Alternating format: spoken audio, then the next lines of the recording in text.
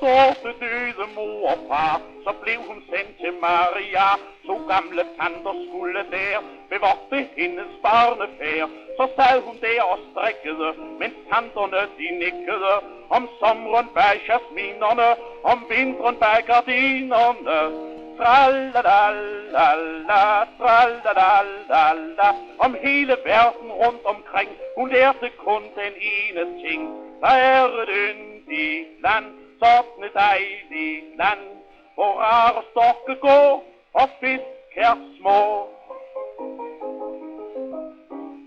Da Dorte stor og voksen blev, fra hovedstaden kom der brev. Hun skulle ind og more sig hos onkel Hans på Mønstersvej, hvor hendes hjerte bankede, mens hun på skibet bankede, og søen munter blinkede, mens tanterne de vinkede.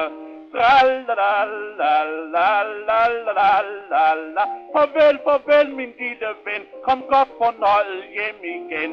Sådan en yndig tur og en dejlig tur.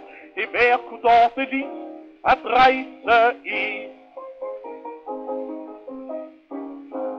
Et tiret lille Dorte blev, seks uger Dorte borte blev, så runde tår naturligvis, og elver højt til nedsat pris.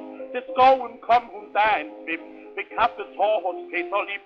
En løjtnant med på turen kom, ham synes lille Dorte om. Da, da, da, da, da, da, da, da, da. En uniform straks pippet tager fra pigebørn fra Maria. Sådan en yndig fyr, så kunne en dejlig fyr. Ham synes lille jom, Dorte om. Så gik de hjem i morgenskær. Jeg slutter helst historien her. Hvordan det gik, da hun kom hjem. Jeg nødigt vil fortælle dem. Men ak, det er min simple pligt at skildre følgerne af sigt. Og det forbavset tanterne og Dorte nok blandt andre med.